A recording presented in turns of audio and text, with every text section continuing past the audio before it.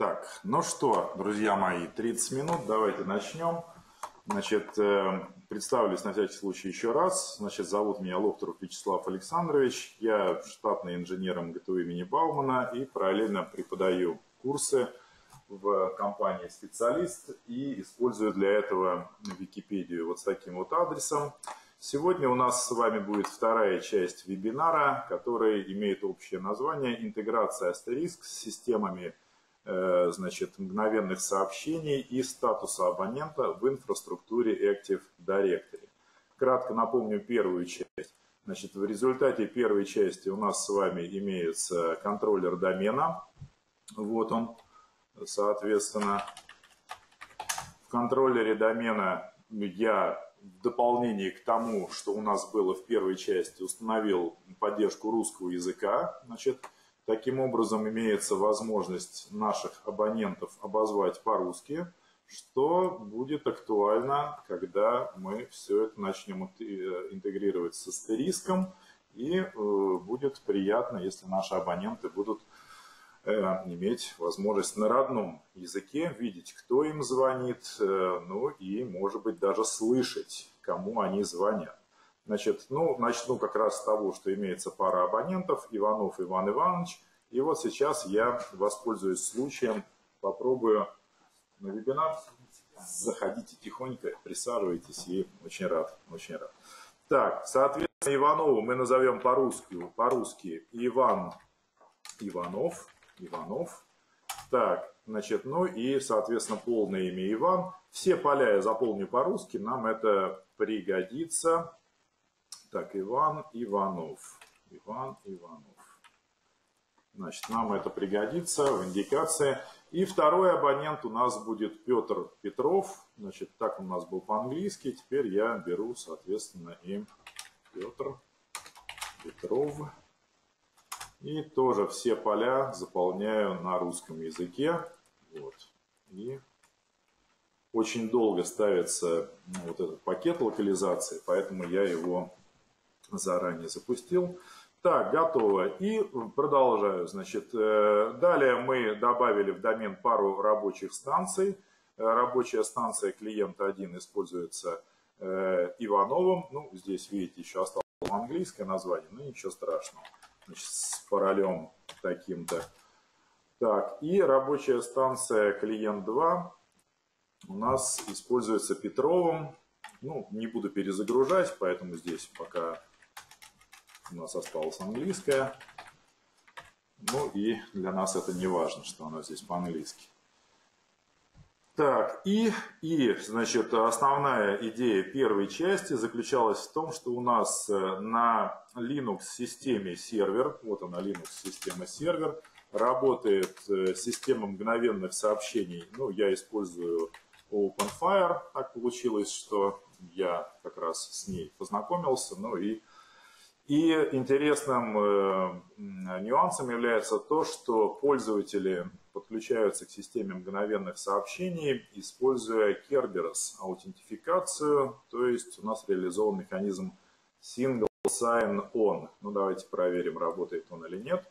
Вот, все ли в порядке. Значит, запускаю OpenFire. Так, ну и сейчас подключимся. Так, это все было у нас в первой части, там сертификаты мы настраивали, чтобы правильно работали. Ну и сегодня нас с вами ждет вторая часть. Значит, вторая часть, э, собственно, мы э, с вами добавляем теперь астериск в эту инфраструктуру. Ну и остановились мы как раз на том, что астериск у нас уже развернут, астериск работает. Вот. В астериске мы даже добавили диалплан, правда, э, значит, э, паблик называется, и в этом диалплане есть номер, который отправляет сообщение пользователю. Ну, давайте пока там запускается, что-нибудь модифицируем, да, значит, план нумерации у нас настраивается вот в этом вот файле. Ну, и я вот решил вот такой вот шуточный план нумерации добавить. Вопрос, э, ну, значит, мысленно дайте на него ответ. Э, вот этот вот шаблон, с какими номерами совпадает, да, вам задание такое на дом. Вот, ну, короче, Короче, посмотрим сейчас, что делает этот план нумерации. Э, так, астериск, астериск, query, reload. Так, ну и как там наши Bonfire запустились? Да, видите, значит, здесь не надо вводить никакой логин, вернее, все уже введено, не надо вводить пароль, и вот у меня зарегистрировался э, в системе мгновенных сообщений user 2, и где-то там должен зарегистрироваться user 1. Давайте посмотрим, произойдет ли это. Как всегда, готовишься, отлаживаешь, но косяки, они нас поджидают. Так, ну и еще раз. Вот план нумерации наш с вами, диалплан show public. Э, что еще? Для связи с астериском имеется вот такой вот коннектор, вернее, для связи с OpenFire имеется вот такой коннектор, который описывается в файле xmpp.conf. Все это было в первой части. Просто напоминаю, что к нашему э, OpenFire подключаемся мы доменной учетной записью. Ну и, собственно, собственно, еще раз, query reload. Звоню, звоню, значит, беру какой-нибудь софтфон, э, настраиваю его на подключение к моему серверу. Никаких учетных записей пока нету. Вот обратите внимание, да, какая конфигурация. Просто IP-адрес моего сервера Asterisk. Вот, вопрос, можно звонить или не можно? Давайте попробуем. Давайте наберу номер 45. Смотрим, что произошло. Наш номерной план совпадает со всеми возможными номерами, и результатом является сообщение. Посмотрите. Питер Hello 45 раз. Да? То же самое сообщение получил наш э, Иван. Hello 45 раз. Ну, то есть мы с вами видим, что астериск уже взаимодействует с системой мгновенных сообщений, и эти мгновенные сообщения может отправлять. Что же мы с вами хотим настроить что же мы с вами хотим настроить на, во второй части? Во второй части мы хотим сделать то же самое, что в первой части сделали для сервера XMPP. А именно сервер XMPP у нас не имеет собственных учетных записей, а настроен на работу с доменными записями. И, соответственно, возникает вопрос, а можем ли мы, точно, да, смотрите, здесь по-русски уже все, да, видите, какая красота. Вот. Ну что, давайте подумаем, как астериск может эту информацию из Active Directory вытащить. Ответ. Честно говоря, никак. Мои попытки найти какие-то модули, которые напрямую бы использовали LDAP и так далее, привели к тому, что э, все решения сводятся на самом деле к скрипту, который через протокол LDAP эту информацию из Active Directory вытаскивает, может делать это периодически, там, раз в час или раз в сутки и так далее. И, соответственно, дальше на основе этой информации надо конфигурацию астериска создать. Вот как раз к тому, а если у нас там 500 тысяч записей, да, то что делать? Вот смотрите, что делать. Значит, э, у нас имеется курс интеграции Linux решений с Active Directory, ну, точнее, там с Microsoft написано. И там э, на стороне Linux используется LDAP клиент, который я сейчас и установлю на сервер с астериском. Этот LDAP клиент, если все будет хорошо, должен позволить мне вытащить информацию о пользователях из Active Directory. Ну, я вот сейчас вытащу информацию во всех пользователях. Попробую. Так, вот такой вот на команды. Так, что мы с вами видим? Так, так, так. Администратор, паспорт. Да, что мы с вами видим? Ничего мы с вами не видим. Дело в том, что в этом запросе указано, что вытаскивать только абонентов, у которых имеются телефонные номера. А у меня, честно говоря, телефонных номеров пока никаких нету. Поэтому я скажу, ну, вытащи информацию во всех абонентах. Ну что, вот запрос. Э, если честно, то можно потратить время, там, объяснить, как работает LDAP и так далее. Ну, у нас с вами не так много времени, и есть курс, есть методичка, из которой вы все это можете скопировать. Поэтому скажу, что сейчас вынимается информация обо всех абонентах. Давайте добавим в Active Directory информацию, которая пригодится астериску. Что пригодится астериску? Каждый из наших абонентов должен иметь телефонный номер. Ну и во всех курсах моих у Иванова телефонный номер 401. И второй момент, значит, э, когда давайте финальную цель сформулируем. Петров звонит Иванову. У Иванова на экране в чателке появляется сообщение «Вам звонит Петров». И, соответственно, вот э, это первое применение, на самом деле там еще будет несколько в дальнейшем. Но давайте вспоминать, астериск работает с телефонными номерами, поэтому 401 номер абоненту присваивается.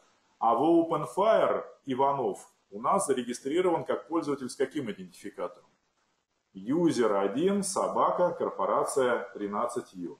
И мы тоже это должны в Active Directory указать. Здесь нет поля идентификатор протокола XMPP. Ну, мы знаем, что в протоколе XMPP часто используются идентификаторы, совпадающие с адресами электронной почты. И, соответственно, я здесь пишу, что у Иванова адрес электронной почты user1 собака корпорация 13.ю. Так, это был наш Иванов. И, собственно, с Петровым могу сделать то же самое. Значит, телефонный номер у Петрова 402, адрес электронной почты user2 собака корпорация 13.ю. Так, заполнив эти поля, я могу э, этот запрос воспроизвести целиком. Значит, теперь я отбираю только пользователей, у которых заполнено поле телефонный номер. Вот, и заодно ограничиваю вывод вот этими тремя полями. То есть меня интересует фамилия, имя, отчество, меня интересует телефон абонента, и меня интересует адрес ну, его электронной почты. На самом деле это идентификатор э, его в сервере XMPP. Вот. И, собственно, э, повторяю теперь уже этот запрос. И смотрю результат. Что я вижу? Я вижу страшные абракозябры. Видите, да, как приятно работать. На самом деле это закодированные русские фамилии, имена, отчества э, наших пользователей. Я вижу их телефоны, я вижу их адреса э, электронной почты, тире, идентификаторы в XMPP. И таких пользователей у меня должно быть два. Что-то я вижу одного. Ну-ка. А, нет, да, второй тоже присутствует. Так, ну что, тогда, э, значит, э, тогда, значит, можно поставить вопрос безопасности. У нас есть время как раз для этого. Сейчас моя команда LDAP Search выполняется вот с такой вот переменное окружение. И э, причиной является то, что э, сертификат моего контроллера домена не может быть проверен на системе Linux. Соответственно, мне как инженеру это интересно, как это исправить. И с точки безопасности это верно.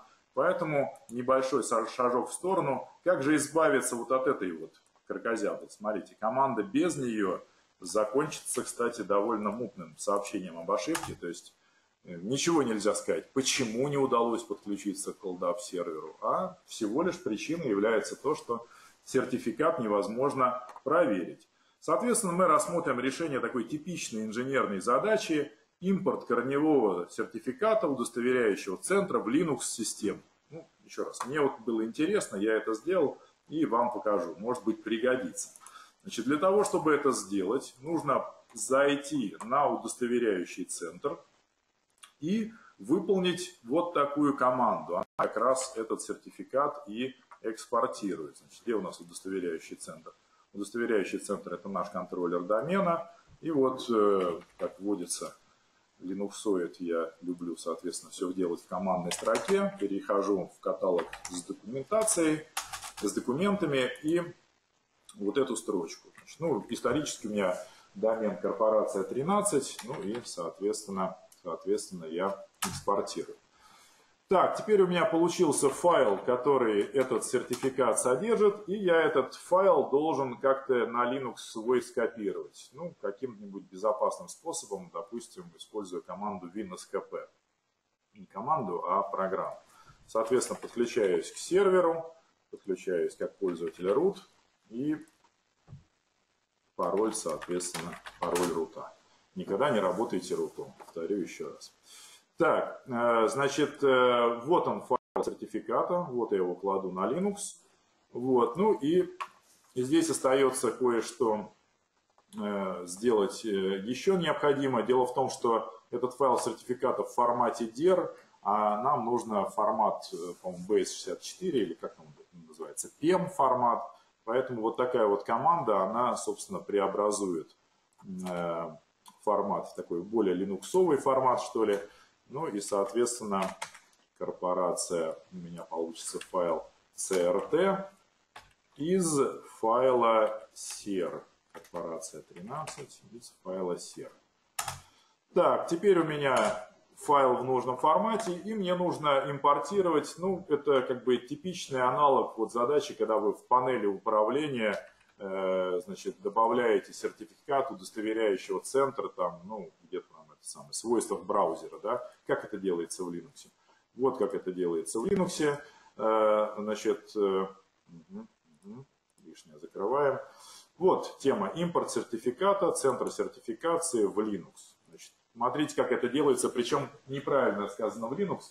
Правильно сказать, как это делается в Debian. В Debian это делается... Кстати, у нас тут можно предварительную проверку сделать еще одну. У нас же есть сертификат сервера XMPP. Помните, мы на первой части делали, да? И вот сейчас на самом сервере XMPP проверить сертификат сервера не удается, потому что он подписан корневым сертификатом удостоверяющего центра. Вот. А теперь я этот сертификат удостоверяющего центра копирую в Debian. Вот такая инструкция. Скопируйте сертификат удостоверяющего центра вот в этот каталог. Так, и выполните команду, которая обновит репозиторий сертификатов. Вот, она, значит, должна сообщить, что корневой сертификат, сертификации, ну, она просто сообщит, что один сертификат добавлен, и теперь предыдущий тест, вот этот тест, видите, должен завершиться успешно, видите, да, то есть у нас имеется теперь в репозитории корневой сертификат удостоверяющего центра, и мы можем все выпущенные им сертификаты э, проверять, и также можем напрямую подключаться без всяких, где наша команда, вот эта вот, э, не, LDAP Search была, вот такая, помните, команда неуспешно у нас завершилась, потому что, ну, она даже не сказала почему, Потому что вот теперь же, видите, она возвращает нам данные.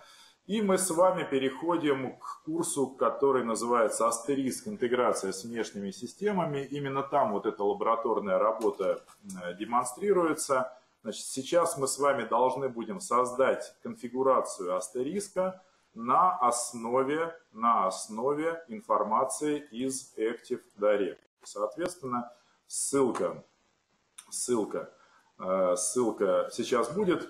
Ну, чтобы не копировать полностью курс, исторически в курсе до сих пор рассматривается э, протокол сигнализации SIP, реализация чем SIP.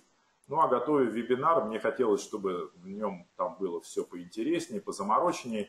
Поэтому я хочу показать, как создать PG-SIP э, конфигурацию астериска на основе информации из Active Directory. Ну, начнем с того, что э, в той версии астериска, которую я использую, здесь Debian 9, 13 астериск, э, порт 5060 по умолчанию слушает Channel SIP, поэтому я сейчас его от этого порта отвязываю. Вот видите, я его перевешиваю на порт 5061. А вот э, файл конфигурации PGSIP наоборот, PGSIP Значит, я беру и создаю транспорт. В протоколе э, в реализации PGSIP можно создать несколько транспортов, повесить их на разные порты, там, использовать разные виды сигнализации, там, например, э, TCP там, с шифрованием, там, UDP, и все это, в общем-то, можно микшировать. Поэтому ну, у нас с вами будет один транспорт. Вот видите, на порт 5060 повесен, повешен транспорт PGSIP, UDP, так, ну и, в принципе, можно сервер перезапустить, чтобы он э, порты, ну, можно, да, да, можно порты проверить. Вот я сейчас покажу вам. Вот такая команда покажет все открытые порты на нашем сервере. И если сейчас спросить, Астериск, ты вообще что слушаешь? То мы увидим кучу портов. Вот порт 5060, видите? Если же сервер Астериск, сервисе Астериск перезапустить, то должен появиться порт 5061, на котором работает старый channel SIP, вот, а порт, собственно, 5060 будет у нас э, закреплен за э, PGSIP. Так, мощно он как-то перезапускается, но, наверное, так должно быть, да. Вот видите, порт 5061, здесь работает PGSIP, ну, по крайней мере, мы на это надеемся. Так, хорошо, база создана. Теперь мы должны, теперь мы должны, значит, назначаем ФИО на русском языке, мы с вами это сделали. И открываем план лабораторной работы курса интеграции астериска с внешними системами. Вот, в частности, интеграция с... Хорошо, так для вебинара, да. Мы продолжаем запись. Так вот, интеграция с Microsoft AD астериска заключается в том, что за основу был взят вот такой вот скрипт. Значит, на просторах интернета был найден, э, может быть, даже на Хабре, э, упоминался потом на SourceForge, Perl скрипт, который все это из Active Directory выгружает. Ну и чтобы не погружать вас в дебри моего любимого языка программирования, я решил написать это еще на более одиозном языке, на шеле, на шеле. Ну, я старался писать максимально короткие скрипты, поэтому, может быть, не так страшно. Итак, вот этот вот скрипт выгружает в красивом виде информацию из Active Directory о пользователях, для которых мы назначили телефонные номера. Ну, давайте я его воспроизведу и посмотрим в работе. Значит, написан еще раз он на шеле. Вот. Э, может быть, на питоне надо все будет когда-нибудь переписать. Единственное, что вот эта вот строка, она, в общем-то, из э, другого ресурса загружает, а я скопирую ту строчку, которую только что у вас на глазах проверил, вот, которая выгружает, где эта строчка, вот она, смотрите, да, вот эта вот строка выгружает информацию о пользователях. Так, ну а дальше э, не буду комментировать, как этот скрипт работает, потому что э, можно его из методички скопировать и по кирпичикам разобрать. Посмотрю, работает ли он сначала, да, значит, chmod плюс x. Так, и, э, значит, запускаю вот таким вот, в таком вот варианте, значит, он одновременно выведет информацию и на экран, вот команда типа, знакомьтесь, да, она выводит информацию из на экран и сохраняет файл. И вот смотрите, какой у нас красивый файл получился. Что мы с вами взяли из Active Directory? Из Active Directory мы взяли номер телефона, из Active Directory мы взяли адрес электронной почты, и из Active Directory мы с вами взяли фамилию, имя, отчество наших абонентов. Так, кто мне скажет, чего не хватает для конфигурации э, астериска? SIP-канала. Чего-то не хватает. Так, номер телефона есть, для имени ФИО есть. Что не хватает? Я вам скажу, чего не хватает. Когда телефонный аппарат подключается к каналу, он предъявляет имя канала и что? Пароль. Вопрос, где взять пароль? Ну, на свете существует масса решений. Я видел решение и даже показывал в одном из своих вебинаров, когда пароль тоже хранится в Active Directory. Там полно полей, которые можно сказать, вот это поле, давайте в него этот парольчик закинем. Но сегодня я хочу показать другой вариант. Дело в том, что э, мы с вами сейчас решаем первую задачу, связанную с пользователями. Но у нас с вами есть вторая задача. Вторая задача заключается в том, что к нашему астериску будут подключаться телефонные аппараты. И очень хорошо, если эти аппараты настраиваются автоматически. Хорошо? Хорошо. Так вот, для того, чтобы авто, аппараты настраивались автоматически, они должны использовать файлы конфигурации, так называемый провиженинг. Нужная вещь? Нужная вещь. В файлах конфигурации должно храниться какой телефон, к какому серверу, под какой учетной записью подключится. Так вот, я э, думаю, что будет гораздо лучше, чем запихивать пароли телефонов в Active Directory, поступить следующим образом. Мы возьмем и создадим еще один текстовый файл, еще один текстовый файл, в котором будем просто вести инвентаризацию наших телефонных аппаратов. Посмотрите, что в этом текстовом файле хранится. К какому телефону, к какому номеру, точнее, да, или к какому номеру-SIP-каналу с каким паролем, узнаете пароль, да, кто у меня учился, к какому серверу, какой вид телефона будет подключаться. Причем, если телефон аппаратный, то мы здесь явно прослеживаем его что?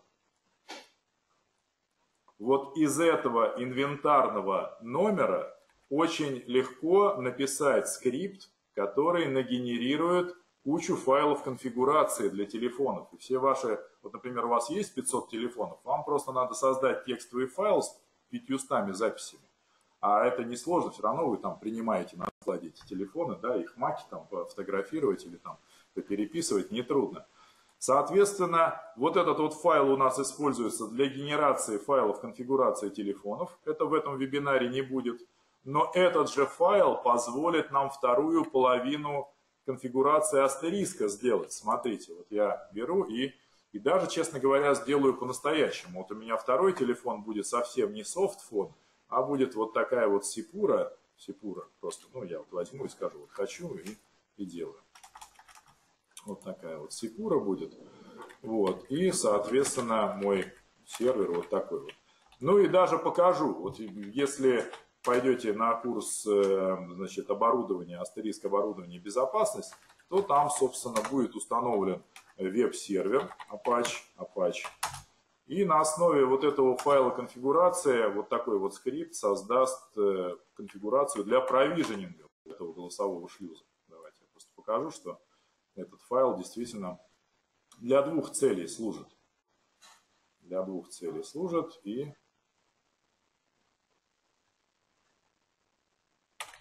И вот смотрите за руками. Значит, небольшой скачок в сторону. Для чего нужен вот этот вот файл с телефонами? Да, вот для чего нужен. Сами посудите.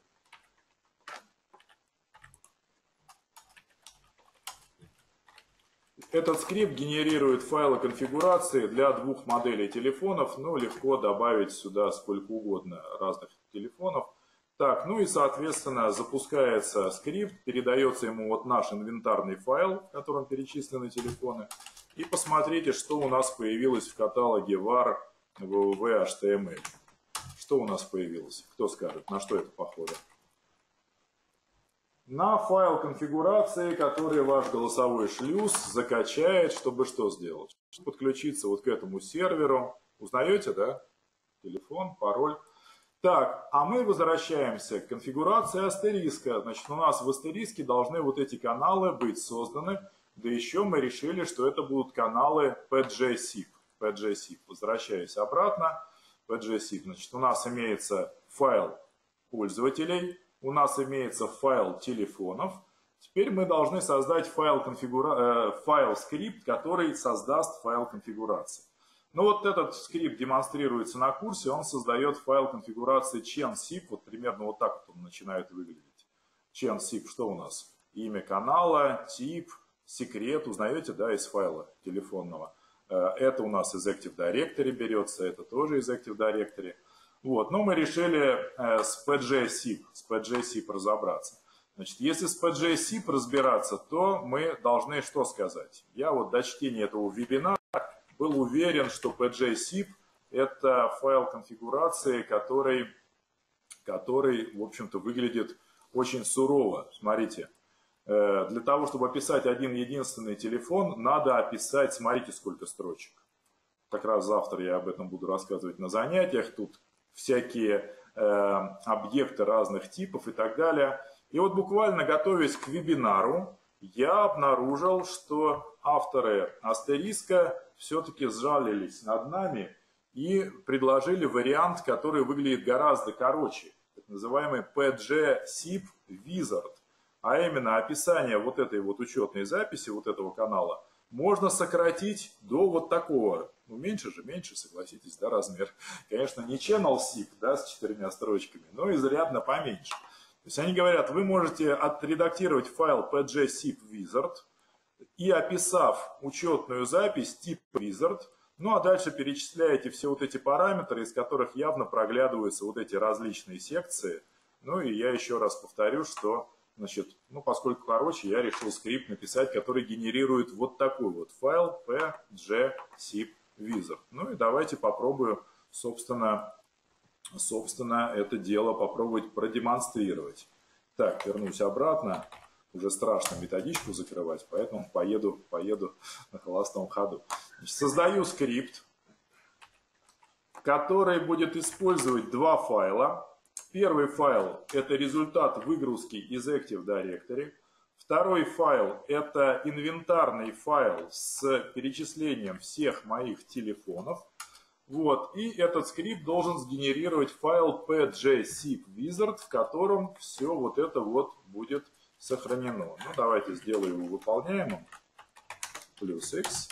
Вот. И давайте смотреть. Значит, запускается вот этот вот скрипт, и ему передается пара вот этих файлов. Вот это мы выгрузили из Active Directory. Вот это наш инвентаризационный файл, э, э, описывающий все телефонные аппараты – а результат мы записываем в файл конфигурации астериска. Ну и давайте посмотрю, сработает или нет. Так, посмотрите, кто спрашивал, как 500 тысяч учеток из Active Directory превратить в файл конфигурации астериска. Вот, пожалуйста, для каждой учетной записи будет сформирован вот такой вот блок. Вот. И если сервер астериск Э, так, мы его рестартовали, да? Рестартовали. Значит, можно теперь дать какую команду? Query reload. Как посмотреть, какие учетные записи PGSIP у нас имеются? PGSIP show. Что дальше? Ну, короче, здесь ни peers, ни users смотреть не интересно. Смотреть endpoints. Вот вуаля, у нас две точки подключения, которые, еще раз, Человеческую информацию мы выгрузили из Active Directory, телефонную информацию из инвентаризационного файла, и вот в результате у нас с вами PGC конфигурация. И я даже могу взять софтфон, софтфон беру и настраиваю его на подключение к какой-нибудь учетной записи, какой-нибудь учетной записи с паролем, ну я знаю какой там пароль, T, password, там 401. Проверяю. Так, вуаля, вот он зарегистрировался, теперь у меня, собственно, есть телефон. Второй телефон, ну, вторым телефоном я возьму железный телефон, у меня имеется голосовой шлюз, вот, соответственно, можно будет, можно будет услышать, а может быть, да, давайте посмотрим, кстати, 172, 16, 1. Так, голосовой шлюз, сейчас я, так, админ, advanced, advanced, давай, голос, так, и вот эту линию я настрою, значит, настрою на свой астериск 10. Ну, сеть там, соответственно, я знаю какая. 12, 213. Так, учетная запись 402. Пароль. T-password 402. Ну, давайте посмотрим, подключится. Submit. Submit. Так, и смотрю, собственно, смотрю, собственно, так, что у меня? Ну, что я вижу? Два телефона у меня, видите? Соответственно, могут друг другу звонить, точнее, не могут звонить. Почему они не могут звонить? Потому что прежде чем они смогут звонить, я должен, я должен настроить план нумерации. План нумерации. Так, теперь вспоминаем нашу цель такую. Когда один абонент звонит другому, астериск должен вывести на экране, внимание, на экране системы мгновенных сообщений. Сообщение. Вот у меня вот телефон, он без дисплея, без всего не видно, кто звонит. У Петрова, да, я имею в виду. Но зато у Петрова имеется вот такое вот приложение, да, и, соответственно, он должен э, это сообщение получить. Раз. Второй момент, смотрите, какое следующее достижение. Если вот вы вспомните, только что, когда я подключился, состояние было какое? У этой штуки, когда я подключился отошел. Смотрите, что мы с вами еще добавим в техническое задание. Если абонент выбрал, вот, например, вот такой режим, или если абонент э, просто э, долго не работал за компьютером и он попал в скринсейвер, то хороший XMPP клиент поменяет его статус на то, что он недоступен. Согласно техническому заданию, звонить ему в этот момент бессмысленно. Потому что телефон стоит рядом с компьютером, а человек либо явно сказал «я занят», либо просто отошел от компьютера, и мы с вами это тоже должны учесть. Соответственно, астериск должен не только передать сообщение о том, что вам звонит такой-то, но перед этим еще и проверить статус абонента. Да, у нас же система какая? Мгновенных сообщений и статуса абонента. Мы все это должны использовать. Соответственно, если полезть в дебри протокола XMPP, то статус абонента могут наблюдать только так называемые друзья. Да? То есть те, кто, вот мы можем разрешать, должны явно разрешить, кто может наш статус абонента наблюдать. Либо мы можем пойти админским путем. Мы можем в Active Directory создать группу, у нас же все берется из Active Directory, включить в нее всех абонентов и настроить, что все входящие в эту группу являются друзьями, то есть могут наблюдать статус друг друга. Создаю эту группу, создаю группу, новая группа. Так, назову ее, ну, во всех курсах у меня имеется группа 1. Вот, в эту группу я включу, в эту в группу я включу, в эту в группу я включу всех абонентов. Какие у меня есть абоненты? Значит, у меня имеются абоненты Иванов и Петров, учетная запись. Но, внимание, еще есть один абонент. Кто должен определить статус абонента при передаче ему вызова? Астериск. Астериск у нас под какой учетной записью работает с OpenFire? Ну, я как ленивый человек просто не создал дополнительную учетную запись, поэтому, поэтому сейчас я сюда добавлю учетную запись, которую, конечно, не надо использовать на самом деле. Это учетная запись администратора. Да? То есть астериск у нас работает в таком вот режиме. Так, ну и это еще не все. В настройках сервера XMPP также нужно сообщить, что у нас абоненты входящие в группу 1, являются друзьями и могут наблюдать статус друг друга. Значит, где у нас тут группа 1? Есть группа 1? Так, вот она, группа 1. Так, ну и я указываю, что, значит, все они как раз вот э, входящие в эту группу являются, являются, все пользователи этой группы являются друзьями. Так, ну я сейчас хочу посмотреть, как это отразилось на наших да, посмотрите, видите, среди друзей появился администратор. Вот э, здесь, здесь у клиента один у Иванова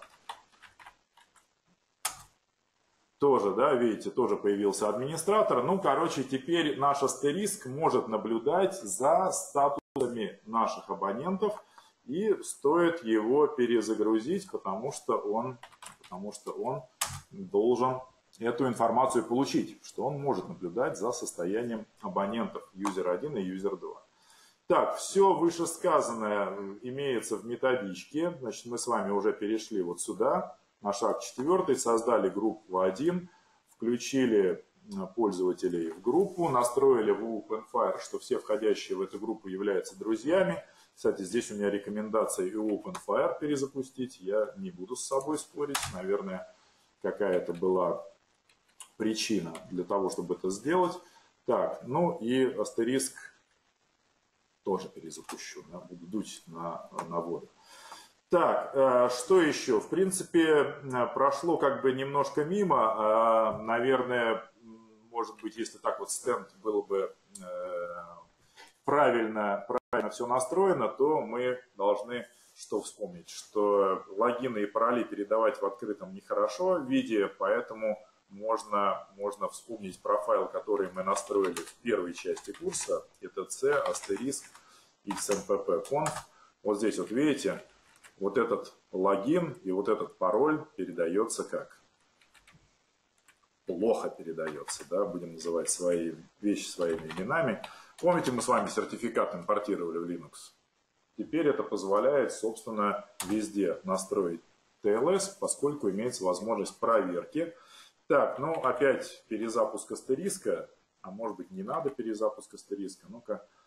Так, локализация сообщения астериск. Ну, честно говоря, у меня заготовлен более интересный вариант, поэтому давайте не будем астериск русифицировать, русифицировать, потому что он у нас заговорит по-русски, но с использованием другого, другого сервиса. Поэтому я перехожу, перехожу к теме индикация кто звонит абоненту и анализ его статуса через протокол XMPP. Значит, перед нами, перед нами, перед нами план нумерации, который все это учитывает. Я сейчас его скопирую и, собственно, попробую, и попробую минимально прокомментировать. и заодно расскажу про еще одну фичу, про которую пока что... Так, значит, астериск, план нумерации. План нумерации мне нужен. Так, итак, теперь в контексте default, в контексте default, давайте я все скопирую, лишнее сотру. В контексте default.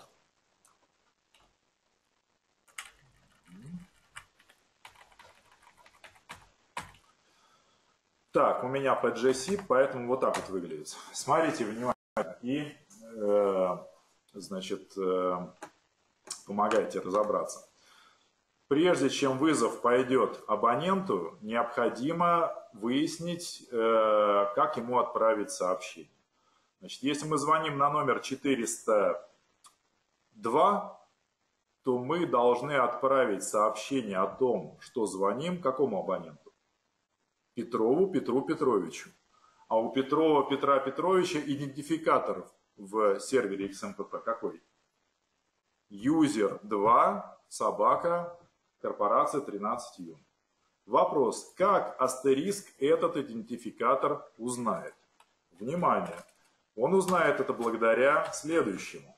В файле конфигурация астериска у нас все абоненты описаны в файле pgsip wizard.conf. Смотрите. Про каждого абонента указана ну, типичная такая ситуация для э, астериска. Значит, указано его имя, указан его пароль, кодеки, контекст указан, FIO указано. Если так покопаться в настройках, то нет поля, которое бы называлось идентификатор XMPP абонента. Вот в астериске нет такого поля. Или даже хотя бы поле адрес электронной почты абонента. Вот голосовая почта есть. Можно указать имя ящика голосовой почты. А электронной нет. Смотрите, как можно выйти из ситуации. Можно с помощью директивы setVar добавить любые переменные, которых вам не хватает. То есть в описании канала вы можете добавить любые вещи, которые вам нужны. И у нас с вами в сценарии для каждого абонента указывается его адрес электронной почты идентификатор сервера XMPP. То есть теперь, когда я звоню на номер 401, я могу вытащить значение вот этой переменной и отправить сообщение XMPP серверу, доставь вот этому абоненту сообщение, что ему звонят. Понятно, да? То есть вы имеете возможность расширять описание каналов своими собственными переменными. И теперь я хочу это дело еще раз показать. Смотрите, вот эта вот функция как раз позволяет вытащить значение любой переменной для абонента, которому я звоню.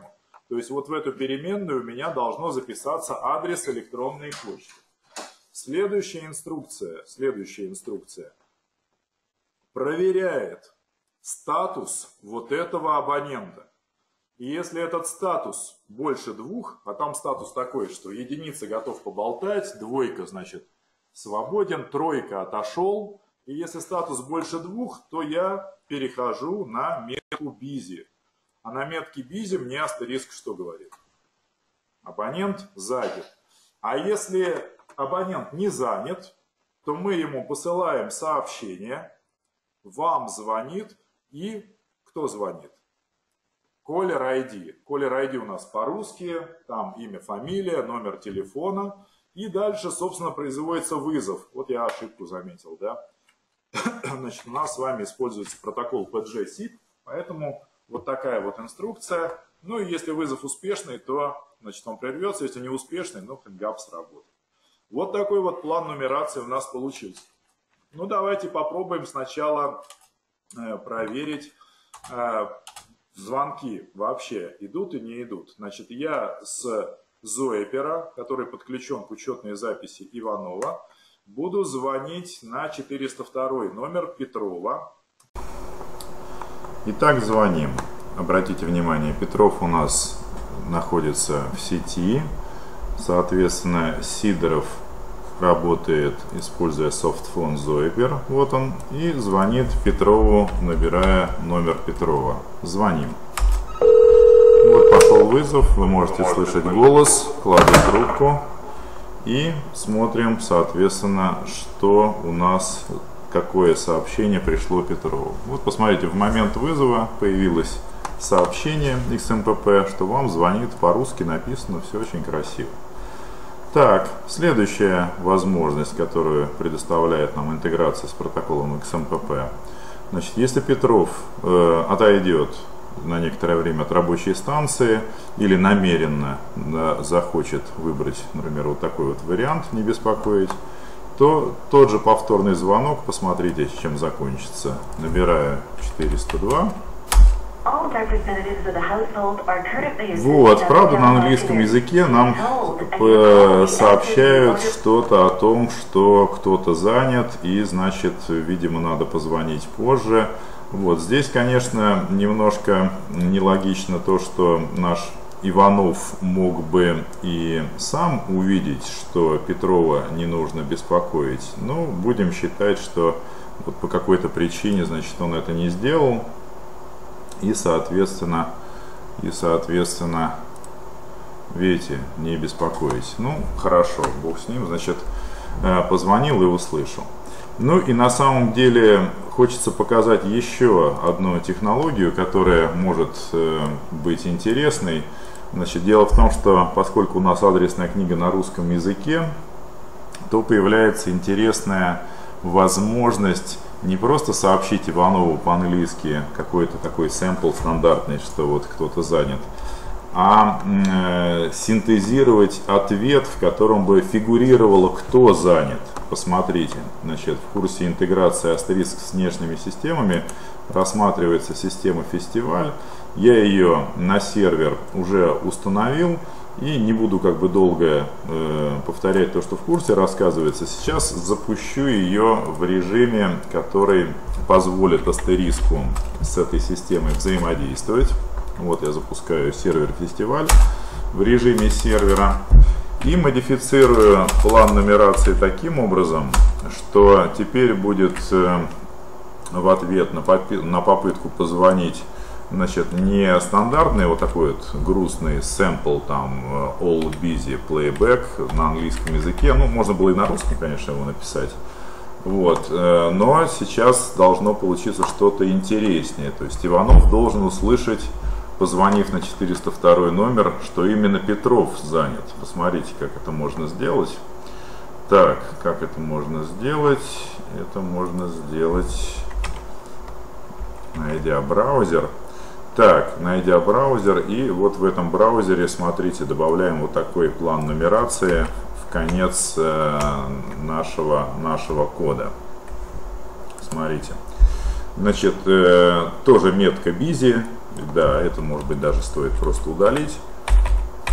Итак, если у нас статус абонента больше двух, то есть он отошел, занят, не желает разговаривать, мы переходим на элемент busy.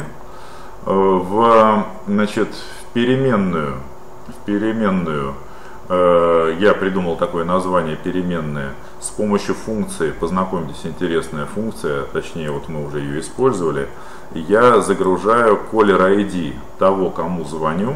Caller ID состоит из двух частей, собственно, из э, имени Петров, Петр Петров и его номера.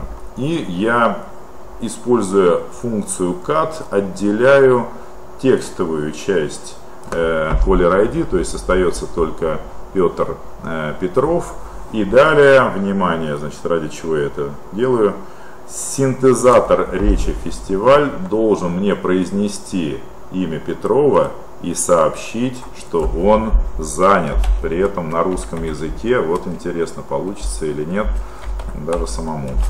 Так, Ори Reload, Ори Reload и повторяю звонок. Значит, я снова звоню, будучи Петровым, а, будучи Ивановым, звоню, звоню, давайте посмотрим, кому звоню. Звоню Петрову, вот он видите, а Петров у нас находится в режиме не беспокоить. Ну и давайте посмотрим, что будет. Набираю 402. Петр Петров занят. Петр Петров занят. Ну давайте еще раз. Петр Петров занят. Ну и вот представьте, что хорошая задача для синтезатора речи, поскольку действительно у нас адресная книга может быть большая, там может быть много фамилий. Ну вот у нас в университете там 15 тысяч сотрудников. И, конечно, надиктовать сэмплы э, трудно. А здесь, значит, синтезируется, звонящий лишний раз понимает, кому он звонил, что именно Петр Петров занят. Вот. Ну и, соответственно, когда Петр Петров будет готов поболтать, можно ему позвонить и, собственно, и, собственно поговорить, да? да? чем ты был занят, скажем. Так что вот такие возможности. Чего не хватает? Чего не хватает? Если зайти на сайт OpenFire, то OpenFire, то э, среди, значит, э, всего прочего можно увидеть вот такую картинку. Смотрите, Asterisk Instant Messaging. Это модуль, который решал еще парочку интересных задач. И, в общем-то, в интернете было много упоминаний, как люди радостно использовали этот модуль. Вот. И, собственно, что же они использовали? Посмотрите. Значит, э, во-первых, во-первых, появлялась обратная связь. Астериск э, с помощью, вернее, так скажем, значит, этот модуль в OpenFire, наблюдая за астериском, понимал, что человек звонит по телефону. То есть менялся вот этот вот статус абонента. Стоило Петрову куда-то позвонить, как здесь тут же появлялось «говорю по телефону». Представляете, как удобно? То есть не надо было э, делать все вручную, во-первых. А второй элемент, который позволял вот этот плагин для OpenFire, здесь появлялось э, в списке абонентов меню «Позвонить». То есть вот так вот щелкнуть, можно было позвонить, не набирая на клавиатуре, собственно, Иванова Ивана Ивановича. Ну и печаль в том состоит, что этот плагин, как бы будучи там бесплатным, открытым, просто перестал поддерживать автор, ну, какие-то причины, может ему там есть чем-то другим заняться.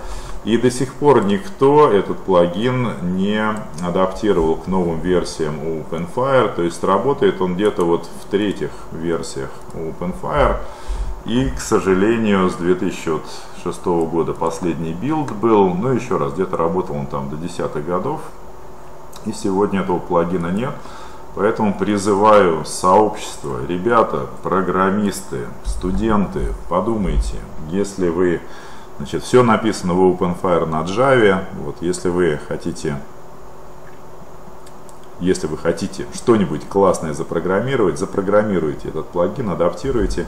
Значит, периодически возникают сообщения, что да-да-да, мы сейчас этим делом займемся, но как-то дальше лозунгов не идет.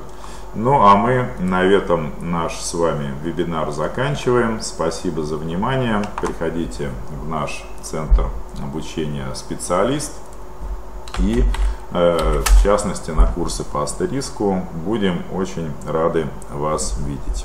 Ну все, всего, всего хорошего.